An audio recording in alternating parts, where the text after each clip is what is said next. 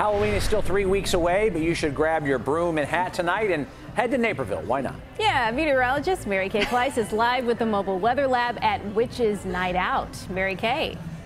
Well, hello from Naperville. We had a little fine mist, but that has ended. But the weather's a little creepy and cloudy. We have 61 degrees right now on the mobile weather lab.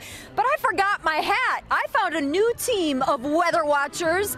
This is Witches Night Out, set up by the Naperville Women's Club. They are out for a good cause tonight, raising money for the agency called Families Helping Families.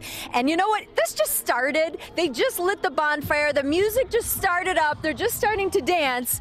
And we are expecting more than 700 witches tonight to kind of mingle around Naper Settlement here. This is an outdoor museum campus right in downtown Naperville. So it's all for a great cause, but it's a little creepy out there. But at least the rain is holding off. But with this drab, dreary air, it feels very spooky. So live from Naper Settlement, I'm Mary Kay Kleist. Back to you, Robin Erica. Yeah, pretty creepy out there, except for little Bruno Mars is pepping things up in the background. There we have that. Thank you, Mary Kay.